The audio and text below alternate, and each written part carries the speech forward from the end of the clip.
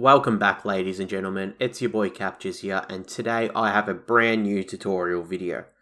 In this video, I'm going to show you how to make your own custom Pokemon Gigantamax card from scratch. If you find this video helpful, please click that subscribe button and while you're at it, please hit the like button too. To start the video off, scroll on down to the video description, hit that show more button and open the below links in new tabs. This can be done by hitting the scroll button or by right clicking and clicking on open in new tab.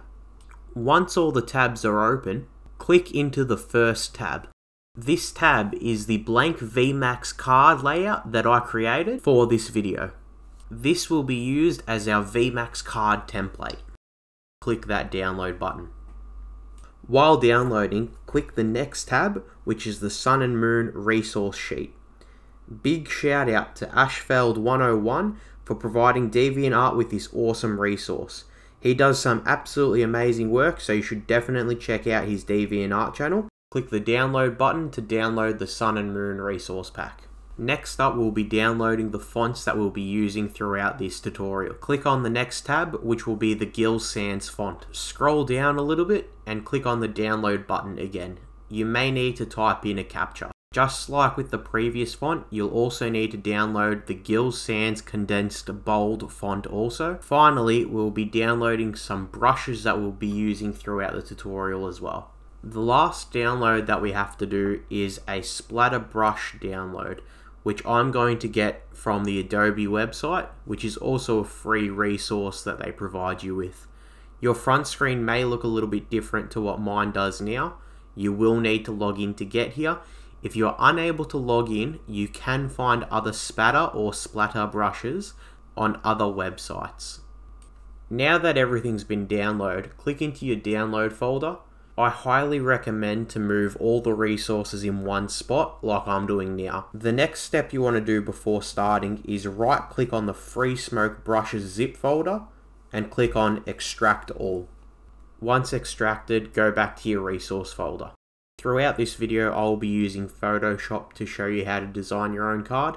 However, there are plenty of other programs that you could potentially use. To start off, you want to right click on the Pokemon VMAX Gigantamax image that you downloaded. Right click on it and open with Photoshop or any other image editing software. This resource page is where we're going to be doing all the design works and will act as our top layer on our Pokemon card the next step is to go back into the resource folder and right click the Pokemon TCG Sun and Moon resource pack. Right click it and open with Photoshop once again. Move your mouse to the bottom right hand corner and open up a new layer. Once the new layer has been opened, drag it to the very bottom and create a grey filled rectangle. This will help with seeing the white text that you can't see on a blank background. The next step will be installing the two brushes that we downloaded, as well as both the fonts. To do this, go back into the resource folder and double click on the unzipped smoke brush folder. You will then double click on the smoke brush itself, which will automatically open up Photoshop again. This will mean that the brush has been downloaded. You then want to click back into the resource folder and do the exact same thing with the spatter brush by double clicking it and again Photoshop will open. From this point, if you click on the paintbrush icon, scroll down to the very bottom and you should see two newly installed folders. To install the fonts, yet again go back into the resource folder and double click on each of the fonts. Click on the install button which will then install the fonts to Photoshop.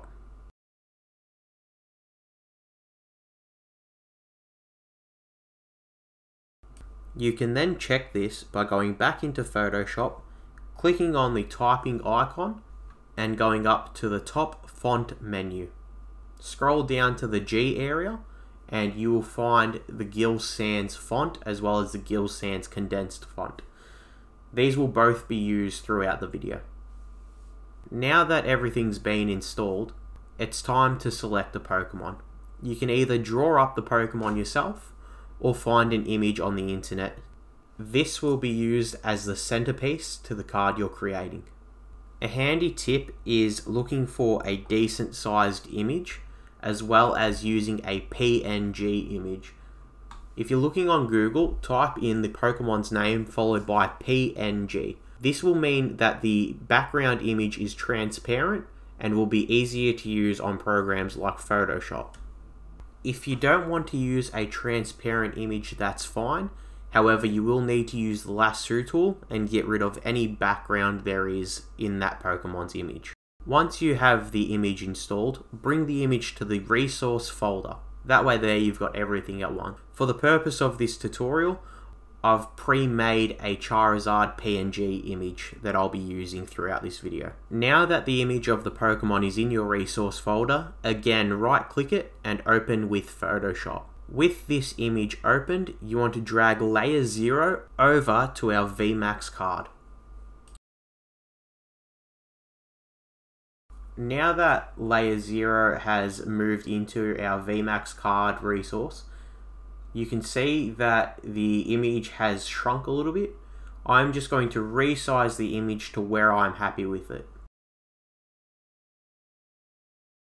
Now that the image has been resized and I'm happy with its positioning, just click on the tick icon up the top.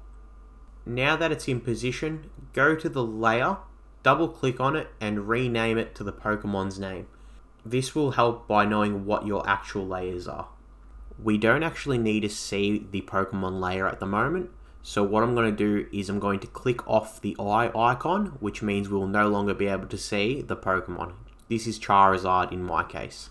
Once that's been done, select layer 0 and click on the magic wand icon. You then want to click on the black border, hold in the shift key and click on the opposite side black border as well. This will mean that both black borders have been selected. You then want to right click the black border and select layer via cut. As you can see, this has now separated the layers of the original VMAX parts as well as the black border. You then want to rename both of these layers.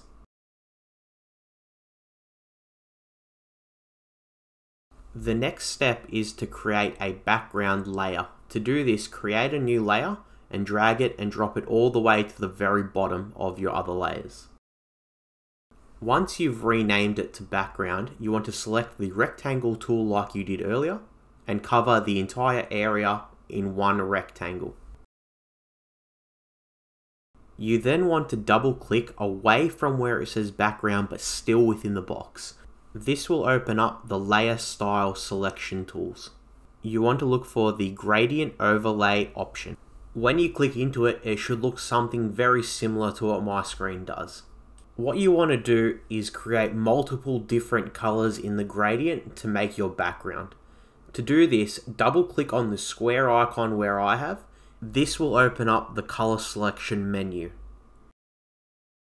Once you've chosen the desired color and you wish to create more colors, all you need to do is click on other ends of the spectrum, which will create new squares to change colors. You want to end up with around about four to six different color tones. There's no real right or wrong way to do this, it's more personal preference. Some Pokemon will work better with other backgrounds than what I'm choosing. Um, I just really like the kind of color tones that I've selected for my Charizard. Once these have been selected, you can click on the OK icon. From here, you can also change the style if you like. There is a variety of different styles that you can do. I usually recommend sticking with either linear or angle. The good thing about angle is that you can also play around with the angle's degree, which means you can get a lot of variation and a lot of different tones going through your background with different angles. Once you're happy with your background, click on the OK icon yet again. You can now also click on the visible icon so you can see your Pokemon again. If your background doesn't 100% work with your Pokemon, this is a good time to change your background to make it work. I've also moved the layers so that the VMAX layer is up the very top, but my Pokemon, my Charizard in this case, is sitting in between the VMAX layer, but it's on top of the card border. As you can see, all the VMAX text and bits and pieces are above the Charizard layer. However, Charizard himself is above the black border layer, which means that Charizard's sitting on top of the black border, which looks good, and it's not interfering with all the VMAX card details.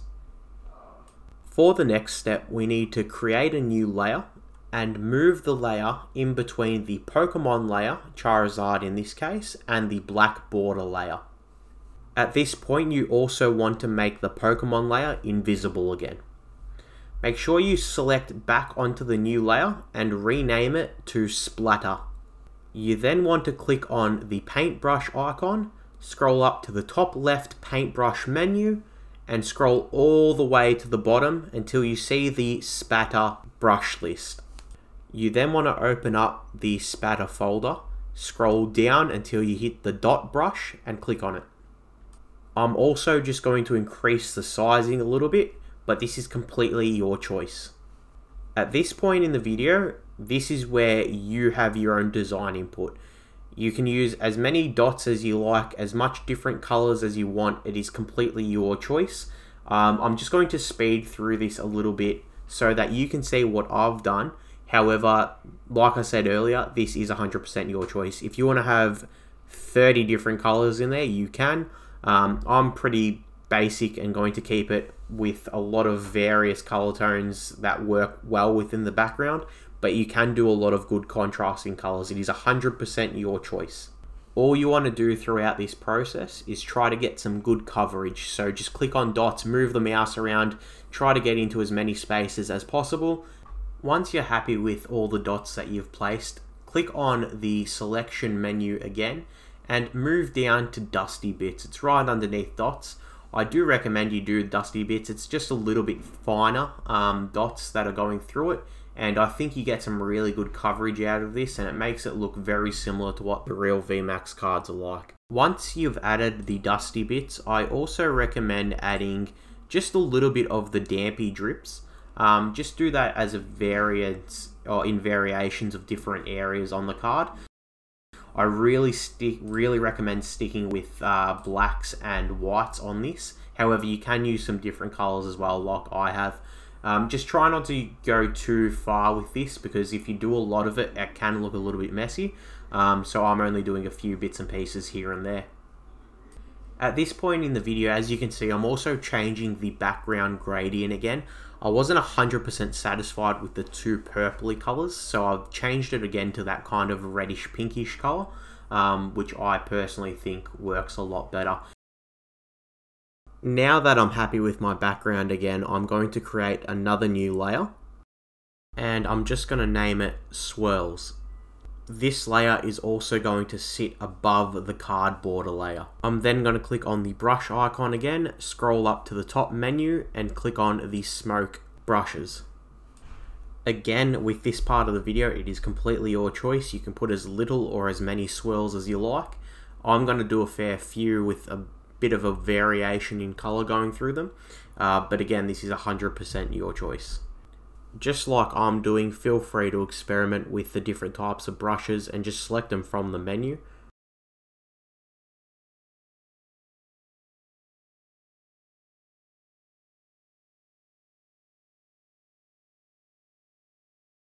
This next step is completely optional, but what I'm going to do is create another new layer again name it swirls 2 and I'm just going to reduce the opacity this time um, just so that it's not as kind of a deep coloring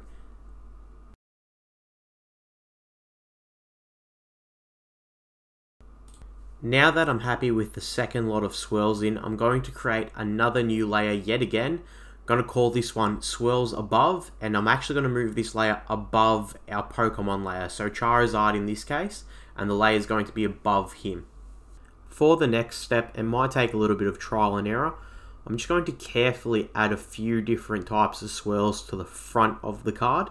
That way then it kind of blends in and doesn't just look like Charizard's in the background and it looks like he's in the middle getting Gigantamaxed. Now that I'm happy with the swirls above layer, I'm just going to create another new layer and call it Splatter Above. And we're just going to essentially do the same thing with the swirls but with the splatter brush this time instead. With this, again, it's really customizable, so do whatever you kind of please. I don't recommend doing a whole lot to it at this point. I just recommend doing a few splatters here and there, especially around the sides and corners, um, just to make it look more like a VMAX card.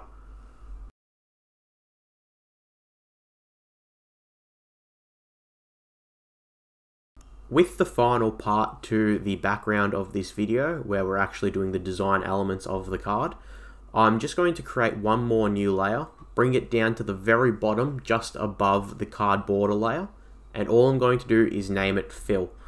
From this point here, I'm just going to go back into the brush icon, select the sizing around about 40 to 50 pixels roughly, and I'm just going to try filling in some of the areas where the black sits that I don't really want to see too much. Again, you can do this as little or as much as you like. To be honest, it's another step that you could probably skip if you didn't want to. I just don't like seeing a whole bunch of the black on the card, and this step helps get rid of it.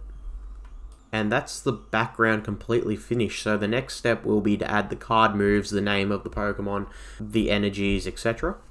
Before I start this, I'm just going to create a new layer and name it text. I'm then going to drag the layer second to the top, only below the VMAX card itself. Now, before starting anything, what I'm going to quickly do is just Google search Pokemon VMAX Gigantamax card. What we're going to do with this is we're just going to paste it onto our last text layer and we're just going to use this as a reference point so that we can see the positioning of the moves and all the energies, etc. As you can see, I've just moved it to the top left hand side just so that it's out of the way but we can still see it. From here, it's finally time to add some typing into your Pokemon card. What we're going to do is type in our Pokemon's name. To do this, we're going to need to use a black text as well as the Gill Sans condensed font.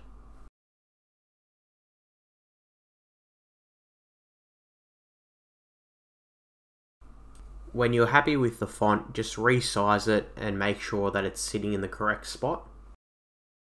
You are then going to double click where the text layer is, so that way we can add the white outline to the text. To do this, you want to add a stroke to the text, so click on the stroke. You want it to be about 2 pixels wide on the outside layer in a white color. Once you've done this, click OK. Just like we did before, we're going to create another text layer and we're just going to write evolves from Pokemon name. We are then going to resize it so that we're happy with the positioning. Try to use the real Pokemon card as a reference point.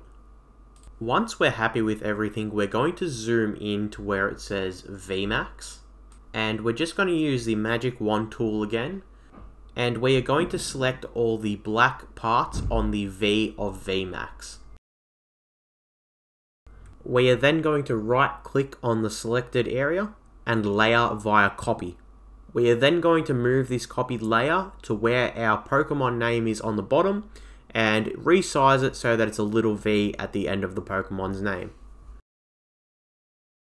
The next step is to go back into the TCG resource page and choose your Pokemon's HP amount for Charizard being not as bulky as what the Snorlax is, I'd say I'm going to go around about the 300 HP mark. To do this, all I'm going to do is select the box tool and layer via copy yet again, drag and drop the layers from the TCG resource page to our VMAX card. A little tip is to make sure you've selected the original layer of the TCG resource and not one of the layers that you've copied. You will also see with the HP amount um, as well as the actual number, you will actually have to add a black stroke to it. To do this, all you have to do is just like we did with our Pokemon's name, you double click on the layer icon and you just click on the stroke and you just change it from a white to a black. The next step is a lot of cutting and pasting, so I will speed it up a bit. Now that I'm happy with the HP that I've dragged and dropped in, as well as the 300, I'm just going to hold the Shift key and select both the HP layer as well as the 300 layer.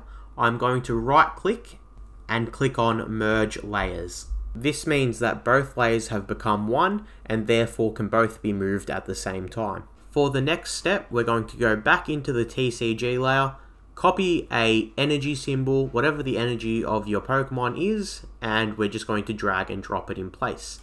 We're going to use a fair few energies from this point, and all you're going to do is drag them in from the TCG resources page to the VMAX card, and all we're going to do is position them accordingly. You might need to do a little bit of research just to know the Pokemon typing as well as its weaknesses. Um, all the resources are in the TCG resource page, and all you need to do is continue to drag and drop the layers that you need.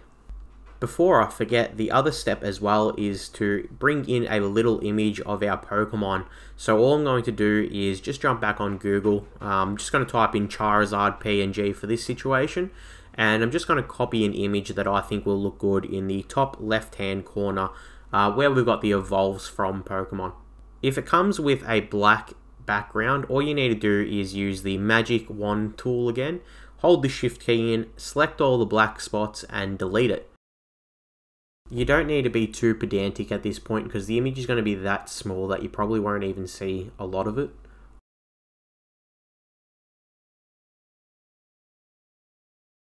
I've also just noticed that my VMAX is a little bit further away from the Pokemon name as it should be. So all I'm going to do is select the VMAX layer, use the lasso tool, and cut around the VMAX, and I'm just going to bring it in a little bit. So just move it more towards the Pokemon name, and then I'm just going to remerge the layers again. For the next step, I'm not going to go into too much details, but I'm just going to add the weakness of the Pokemon in. All I'm going to do is drag and drop a water energy because it's Charizard's opposing type, and the times 2 symbol, and we're just going to create an overlay as well. So very similar to what we did with the stroke, but click on color overlay, just like before with the gradient overlay, but this time we're clicking color overlay. We're just going to make the color overlay white because that is what it is in the GMAX card that we're using as a reference for. And that way then it's all in consistency. You will need to do a bit of resizing with the energies to make sure the sizes are similar to the real cards. For the next step, just add in a retreat cost, whatever you think is right. Try to be a bit realistic in terms of what the retreat cost would be of a specific card. And just like we did before, we're just going to drag and drop it into the VMAX file. I've just used the water energy just to help with sizing and I'm just going to move it back into the retreat cost area. Try also to keep all your layers named correctly. I'm just going to go through and just quickly touch up my layers now. Next up, you've just got to add a symbol. Now, all Gigantamax cards will be a star rare. Um, and you also just want to add the number of the cards that you've made. Now, I've made three, so I'm just going to write it in as 003. A lot of Pokemon cards have out of a certain number if you're going to make a set, but for me in this case, I'm just going to leave it as 003 because that's what I'm up to. Try also to resize the text so that it's the same size as the star or thereabouts. You may also need to add a stroke to this just like I have. At this point you need to get your creative hats on because we're going to come up with some Pokemon moves. Once you've moved the energies from the TCG resource file to the VMAX file, uh, all you're going to do is position them accordingly so that they're similar to where the reference card energies are. Now again, for the move name, what you want to use is the Gill Sans condensed font. You then want to type in the move's name and just readjust it to the correct sizing. You will also need to add a stroke for this font.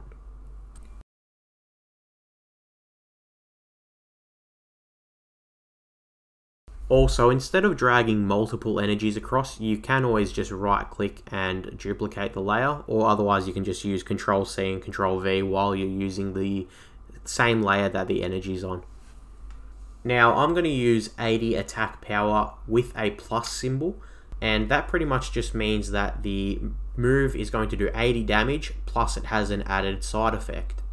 Now to add a side effect what you're going to need to do is just click on the regular Gill Sans font and underneath the move name all you're going to do is type in what the added effect is. So mine in this case is going to be this attack does 30 additional damage to each of your opponent's benched Pokemon. Now if you are going to add one of these moves in, the text should start just underneath the first energy symbol. Use a real Pokemon card as a reference point. Try not to make anything too ridiculous as well. At the end of the day, you do want the Pokemon cards to look and feel realistic. You will again also need to add a white stroke to this text.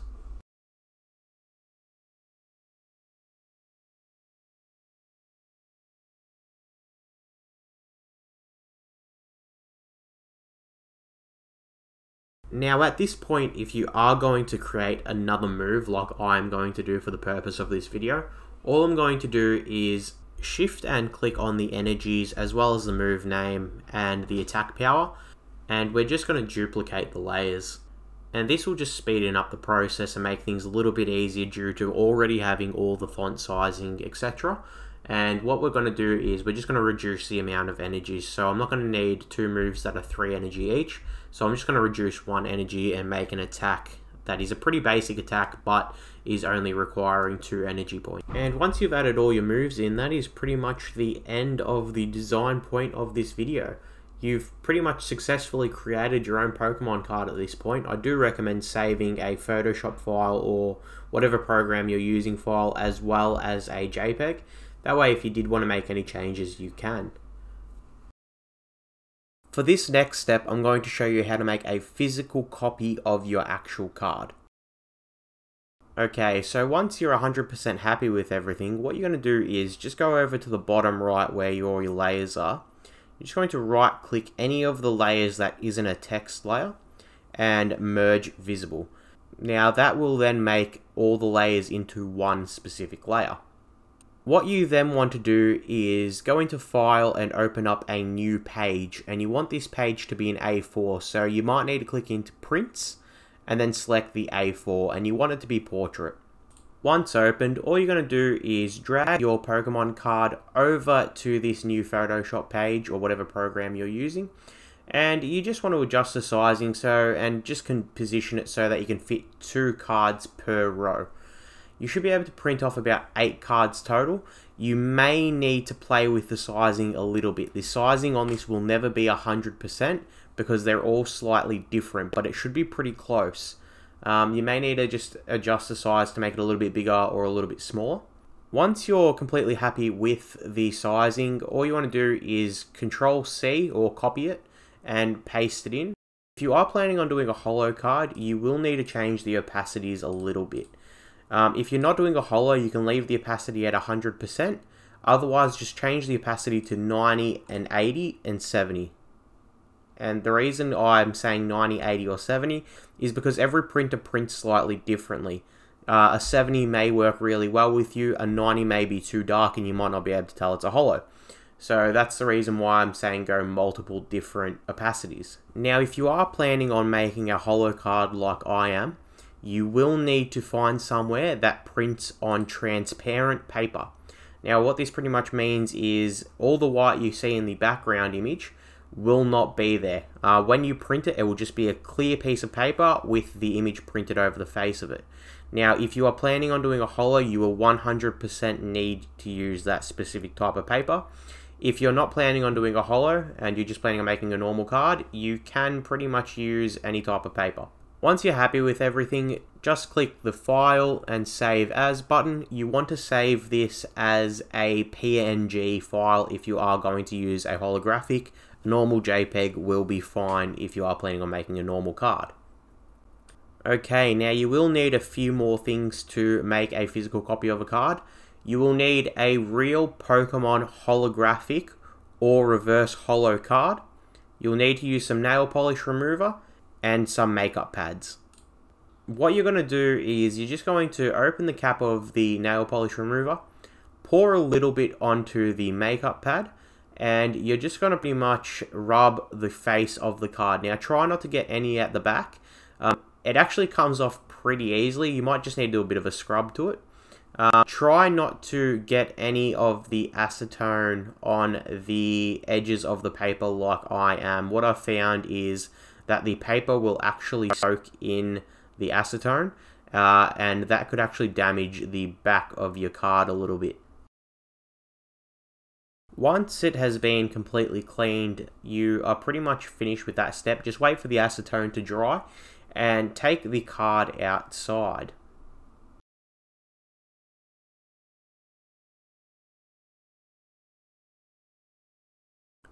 For this next step, you will need to get some adhesive spray.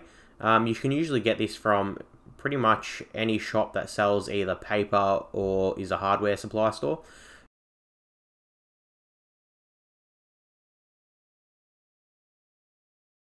Try to go quite lightly with it. Don't do what I did just then and accidentally put a little bit too much glue in one area.